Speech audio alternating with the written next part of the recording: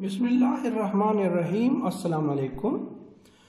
In this lecture, we shall learn the Fourier integral, the Fourier cosine integral, the Fourier sine integral, the Fourier transform, the Fourier inverse transform. So let us start from the Fourier integral. If we are given a function f of x, then the Fourier integral of f of x defined on this interval is given by f of x is equal to 1 over pi 0 to infinity a of w cos wx plus b of w sine wx and integration is with respect to w. Where the value of a is given by this formula from minus infinity to infinity f of x cos wx dx b of w is equal to integration from minus infinity to infinity. F of x sine of wx dx. This equation 1 is called the Fourier integral formula. It is also called representation of the function f of x in the Fourier integral. So if we are given a function f of x from 2 we have to obtain the value of AW and from 3 we should obtain the value of BW and then we have to put these two values in 1 and that will be our required solution. So let us see an example to solve this problem number one. Find the Fourier integral representation of the function f of x is equal to 0 when x is less than 0 and 1 when x is between 0 and 2 and 0 when x is greater than 2. So to solve this problem, first of all we have to write formulas of the Fourier integral.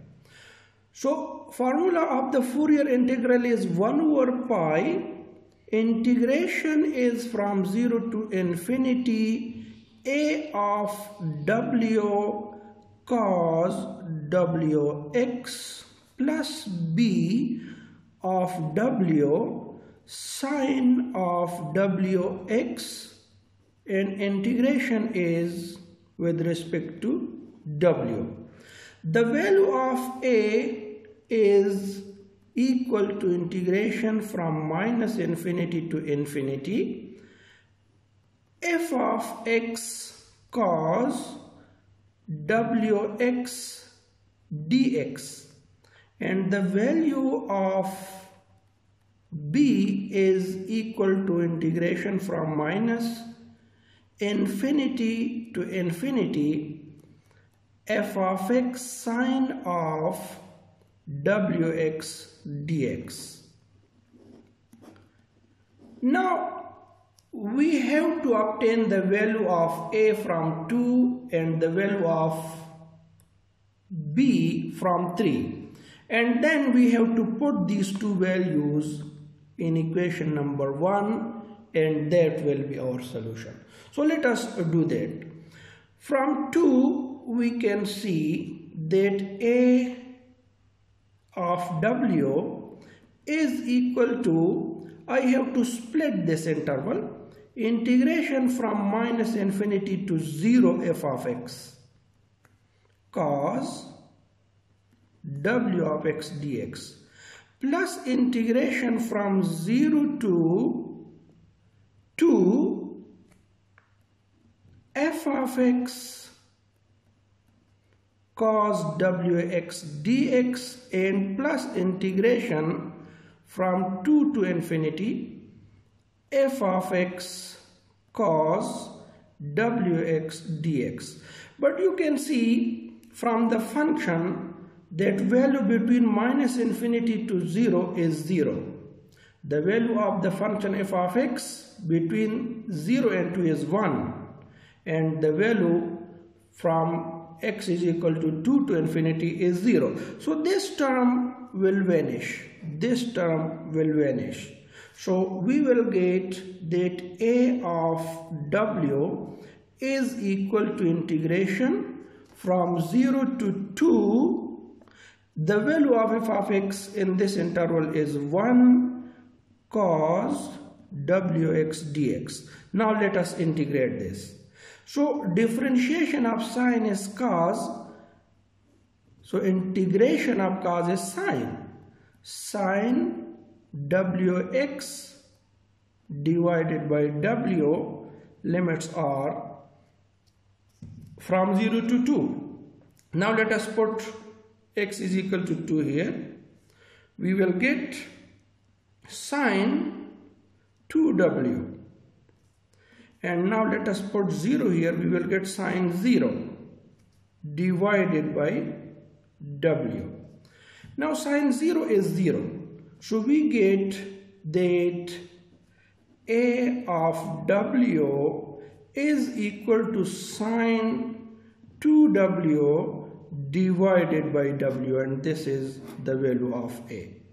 Now we have to obtain the value of b. So from 3 we can get that b of w is equal to integration is again if we split this interval you will get that the value between minus infinity and 0 of the function f of x is 0 similarly the value here is 0 so only we have that the function value is 1 in the interval from 0 to 2. So I can write b of w is equal to 0 to 2 f of x the value is 1 and sine wx into dx. Now we have to integrate this thing. So the integration of sine is minus cos. Cos wx divided by w limits are from 0 to 2 now let us put the limits. So if we put the limits we can get that let us take minus 1 over w is common. So if I put x is equal to 2 here I will get cos 2w minus if I put 0 I will get cos 0 now cos 0 is 1. So we can get that this is equal to minus 1 over w cos 2w minus 1 and if I multiply minus inside the brackets I will get that the value of b of w is equal to 1 minus cos 2w and whole divided by w. So this is the value of b. Now we have to put these two values in equation number 1. So from equation number 1 you can see we can obtain that 1 implies f of x is equal to 1 over pi.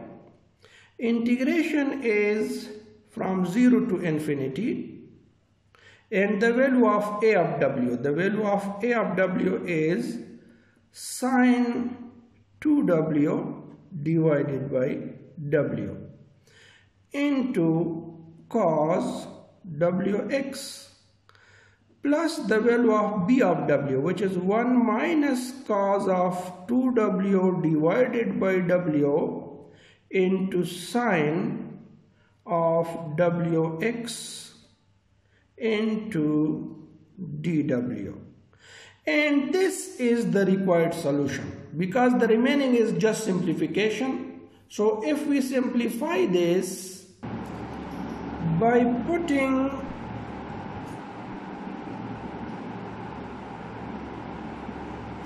sine 2w is equal to 2 sine w into cos w. And 1 minus cos 2w is equal to 2 sine square w. Then we can get f of x is equal to 1 over pi integration is from 0 to infinity.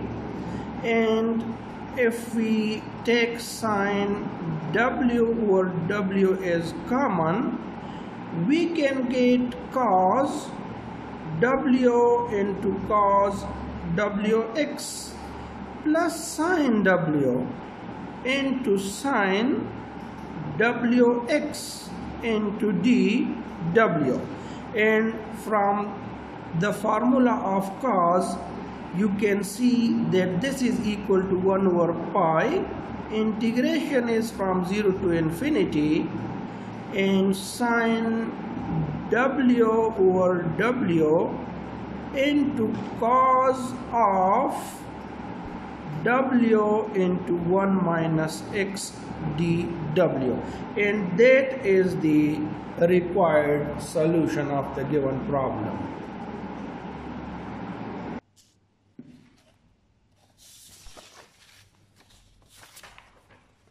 Fourier cosine integral. To study Fourier cosine integral and Fourier sine integral, we shall use the concepts of even and odd functions which we have discussed in previous two classes. Let us revise two properties that if the function f of x is even then integration from minus infinity to infinity f of x dx is equal to 2 times integration of the function f of x from 0 to infinity. And if the function f of x is an odd function, then its integration from minus infinity to infinity is 0. One more thing we have to revise that sine x is an even function and cos x is sorry sine x is an odd function and cos x is an even function. Now we have also studied that if we multiply an odd function with an odd function we get even function. If we multiply even with even we get even function. If we multiply odd with an even function or even with an odd function, we get an odd function. And now let us let us start this one which says that if we are given a problem and in the problem we have a function which is an even function then how we can find the Fourier integral we shall use the same method. We know that a of w is equal to from minus infinity to infinity f of x cos wx dx. But you can see that if f of x is even, cos is already even. Even into even is an even function and we have to use this property of even functions, definite integrals. So this must be equal to 2 0 to infinity f of x cos wx dx because this product is even. Similarly, look at b. b is equal to integration from minus infinity to infinity. f of x sine wx. Now you can see f is an even but sine is an odd function. So E1 into odd is an odd function and using property number 2 of the definite integral, this is equal to 0. So now you can see we don't need b of w because it is 0 if we are given a function which is even. So the, the integral formula, the Fourier integral formula will reduce to this one because the other term is 0. So just we have to evaluate the value of a w and then we can put the value here and we will get the answer. Let us discuss the Fourier sine integrals. Again, if we are given a question, in the question the function is an odd function, then how we can obtain a and b? Again, a has the same formula. But if f of x is odd, cos cause is even. So the product is an odd and we know from this property that integration of the odd function from minus infinity to infinity is 0. Similarly, if, if we see b, b is equal to this one which is the same formula but f is odd, sine is also odd. Odd into odd is an even function. So we have to use property number 1 which is equal to 2 0 to infinity f of x sine wx dx. Now we don't need a because this is 0 so we have to use the value of b in the given formula and we can get the solution. Problem number 2. Find the Fourier integral representation of the function f of x is equal to 1 when x is between minus a to a and 0 otherwise.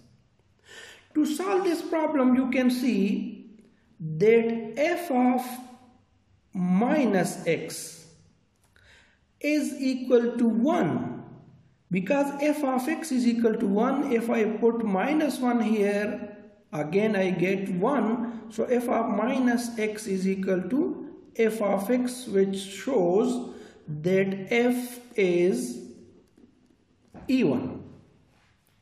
Now f is even so if I obtain b of w let us write the formulas b of w is from minus infinity to infinity f of x sine wx dx now you can see that f is even but sine is odd. Even into odd is odd. So using the property of definite integral, b is equal to 0. So we don't need to obtain b. We only need to obtain the value of a.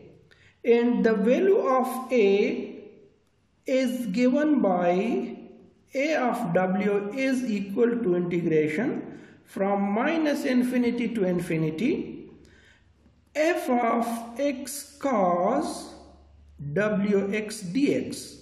Let us say this is 1. Now if b is 0, what will be f of x? f of x is equal to 1 over pi. Integration is from 0 to infinity a of W cos Wx plus B of W sine Wx but B is 0 so we don't need to, to write this term into dW. This is our required formula for the Fourier integral. So we have to obtain the value of a from 1. So 1 implies that a of w is equal to integration is from minus infinity to infinity f of x cos wx dx. Now f is even, cos is also even. So product is even. So we have to use the even formula from the definite integral which says that this must be equal to 2 times integration from 0 to infinity f of x cos wx dx. Now the function has two values. Between minus a to a it has 1 and otherwise 0 so I can write that a of w is equal to 2 0 to a f of x cos wx dx plus 2 a to infinity. F of x cos wx dx but you can see that the value between a to infinity of the function f of x is 0 so we have only this term. Now let us solve this integration. From 0 to a the value from 0 to a of the function is 1 so we can write 1 cos omega x dx now integration of cos is sine. Sine wx divided by w. Limits are from 0 to a. If I put the values, I will get sine aw minus sine 0. But we know that sine 0 is 0. So A of W is equal to 2 sine AW divided by W. This is the value of A. Now we have to put this value in equation number 1 to get the Fourier rep integral representation of the function f of x. So 2 implies that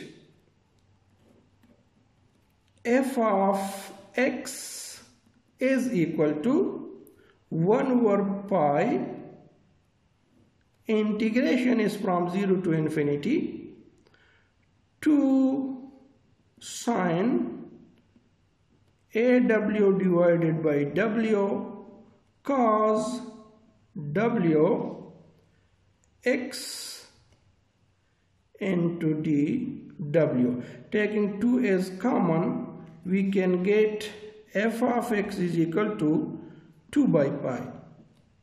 Integration is from 0 to infinity sine aw cos wx divided by w into dw and this is the required representation of the function f of x in the form of Fourier integral. The Fourier transform. The Fourier transform of a function f of x is denoted by this symbol and it is defined by Fourier transform of the function f of x is equal to integration from minus infinity to infinity f of x e power minus iota wx dx.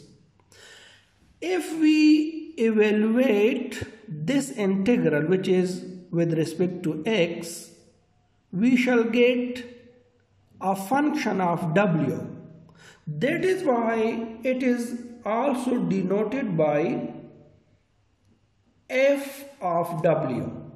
So this is the formula which can transform a function f of x from the variable in x to another function f of w which is a function of w. And the inverse Fourier transform of f of w is given by this one which is equal to 1 over 2 pi. Integration is from minus infinity to infinity. F of w e power iota w x dx. And you can see if we evaluate this limit which is with respect to w, we shall get a function of x again. So here I would like to explain that in some books you can find that the Fourier transform of the function f of x is defined by e for integration from minus infinity to infinity f of x e power minus iota wx dx this one and this one are the same but in some books you will find that there is a constant multiplication of 1 over 2 pi. Similarly, Fourier inverse transform of the function f of w is equal to 1 over 2 pi under the root. Integration is from minus infinity to infinity. f of w e power iota wx dw. So here we don't have a root but in this formula there is 2 pi under the root. So you can use these two formulas to find the Fourier transform and inverse transform or you can use formula number 1 and 2 to find the Fourier transform and the Fourier inverse transform. I shall use in this lecture formula number 1 and 2 and if you use formula number 1 and you want to get similar answer just multiply with 1 over 2 pi under the root and you can get the answer obtained by this formula. But just ignore these two formulas, concentrate only on these two formulas. So first of all, let us concentrate on the Fourier transform. Problem number three. Find the Fourier transform of the function f of x which is equal to 1 when x is between minus a and a and 0 otherwise. To find the Fourier transform, we know that the Fourier transform of a function f of x is defined by integration from minus infinity to infinity f of x into e power minus iota wx dx. Now if we split these limits we can get that integration from minus infinity to a f of x dx plus integration from sorry to minus a because this is from minus a to a and then integration from minus a to a f of x or this one is e raised to power minus iota wx e raised to power minus iota wx dx plus integration from a to infinity f of x e raised to power minus iota wx dx. But we can see that the value from minus infinity to a, minus a of the function f of x is 0 so this one is 0 similarly the value from my, from a to infinity is 0 so we only have integration from minus a to a f of x e raised to power minus iota wx dx so let us evaluate this between minus a to a, the value of this function is 1. So we can write that this is equal to minus a to a 1 e raised to power minus iota wx dx. Now we have to integrate this. So we can get that f of w is equal to e power minus iota wx divided by minus iota w and the limits are from minus a to a. Now let us put the values. So if I put the values I will get 1 over iota w. I am taking minus 1 over iota w outside.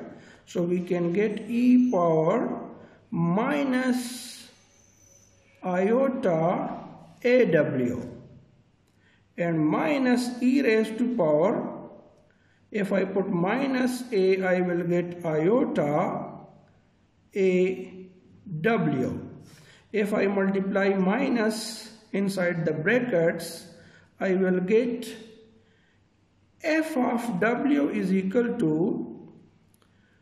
1 over iota w into e raised to power iota aw minus e raised to power minus iota aw. So and this is the required solution but we can simplify this a little more and from the Euler formula we can obtain that e power iota aw is equal to cos aw plus iota sine aw and if we have minus here minus we will get cos AW minus iota sine AW.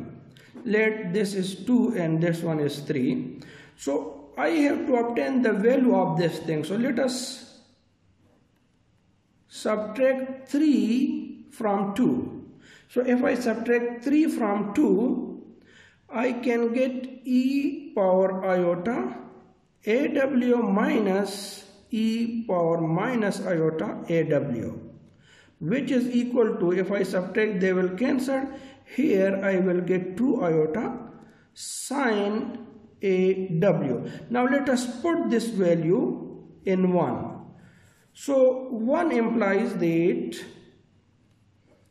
f of w is equal to 1 over iota w and the value of this is 2 iota sine a w. Now iota will cancel with iota and we can get f of w is equal to 2 sine aw divided by w and this is the required solution. Now if you use the other formula you will just multiply here 1 over 2 pi under the root. So you will get similar solution. So we have obtained that if we are given a function f of x equal to this one then its Fourier transform is given by this one. Now if a is 1. We are given another question in which f of x is equal to 1 if x absolute is less than equal to 1 and 0 when x absolute is greater than 1. We will get the same solution but just we have to replace a by 1 here. Similarly, if we are given this question in which a is 2, the solution will be the same one but we have to replace a by 2 and if we are given a function f of x of the same form but x absolute is less than 3 and 0 when x absolute is greater than 3 so we will get the same solution f of w is equal to 2 sine of AW but A is 3 so we have to write 3W divided by W and so on. Now let us solve another problem. Uh, problem number 4. Find the Fourier transform of the function f of x equal to 0 when x is less than 0 and e power minus ax when x is greater than or equal to 0 a is a positive number so here we have to write formula of the Fourier transform which is equal to integration from minus infinity to infinity f of x e power minus iota wx dx. Now I have to split these limits. I can write integration from minus infinity to 0 f of x e raised to power minus iota w plus integration from 0 to infinity f of x e power to dx. Now you can see that the value when x is less than 0 of the function f of x is 0. So this value is 0. So we have integration from 0 to infinity f of x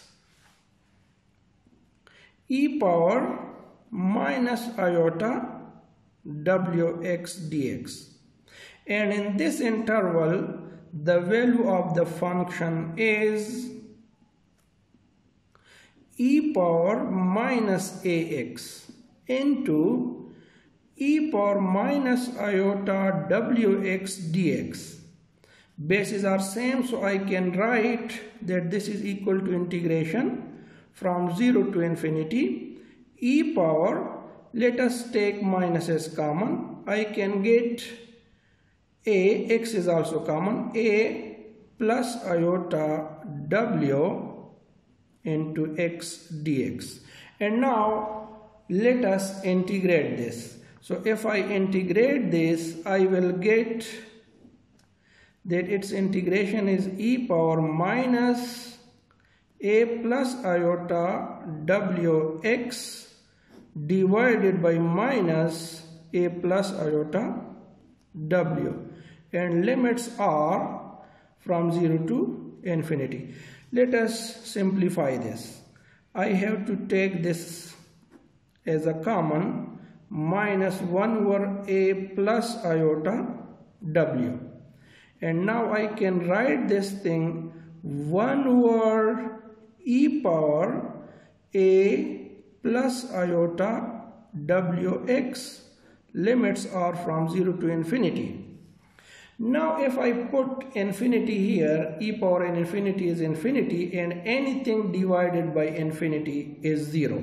So I can get that this is equal to minus 1 over a plus iota w 0 minus.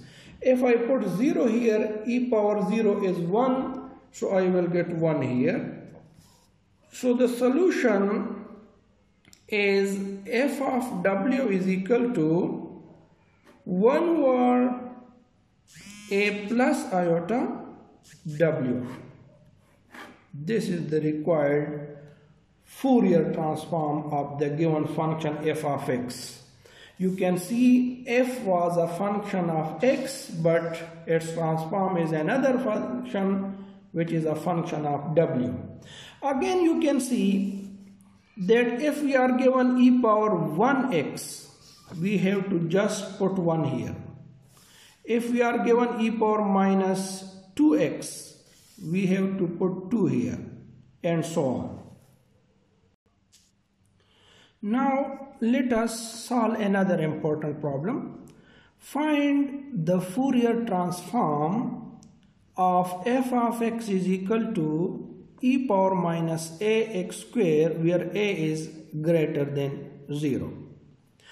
In a similar procedure, we have to write formula for the Fourier transform which is given by integration from minus infinity to infinity f of x e power minus iota wx dx. And now if I put the values the value of f of x. I will get integration is from minus infinity to infinity and the value of this function is e power minus a x square into e power minus iota x dx. You can see bases are same. So I can write that this is integration from minus infinity to infinity. e power, let us take minus as common. I can get a x square mm, plus iota wx dx. To solve this problem, let us explain something. We know that integration of e power minus x square, let us take this t, e power minus t square dt. Integration is from minus infinity to infinity is equal to 2 times integration from 0 to infinity e power minus t square dt because e power minus t square is an even function. So from the property of definite integral we can write that this is equal to 2 integration is from 0 to infinity e power minus t square dt. And now we have to remember that integration from 0 to infinity of e power minus t square dt is equal to under the root pi divided by 2. So they will cancel and we can get pi under the root. So what we have to do here? We have to make these two terms as square we have to convert ax square plus iota wx square to another formula which is something whole power square. So by adding and subtracting we can obtain that this is integration from minus infinity to infinity e power minus let us take a as common also so I will get x square plus iota w divided by ax into dx.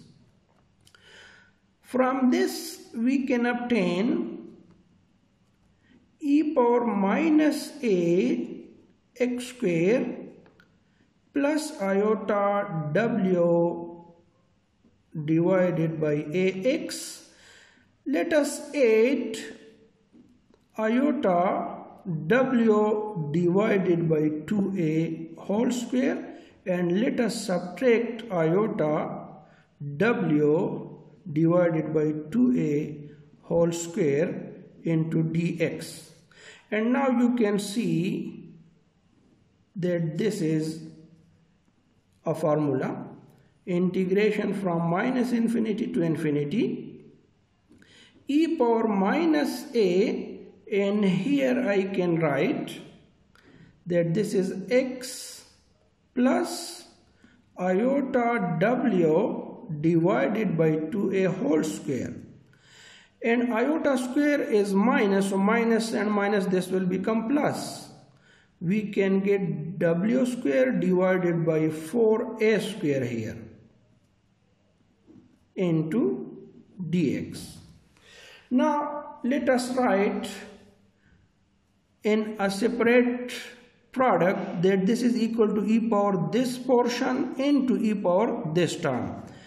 And now we can see that if a is multiplied with here, a will cancel with a, so we will get a here.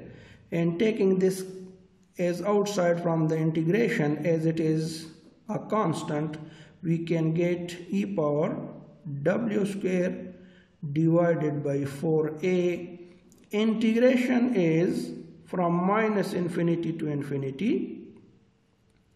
My e power minus a x plus iota w divided by 2a whole square dx. And now we have to do some substitutions. So by substitutions, we can put, let, this is 1, we can put a under the root into x plus iota w divided by 2a is equal to t. And if I differentiate both sides, I will get that dx is equal to dt divided by under the root a. Therefore, 1 implies, so this one will become f of w is equal to e power w square divided by 4a integration is from minus infinity to infinity. E power minus t square. Putting this equal to t we will get t square here. dx is equal to dt divided by under root a under root a 1 over under root a will go outside and now we can use this property. So according to that property, we can get that this is equal to e power w square divided by 4a whole divided by a under the root into pi under the root and this is the required required Fourier transform of the given function. This lecture is still continue. So please watch its part 2 to better understand the concepts.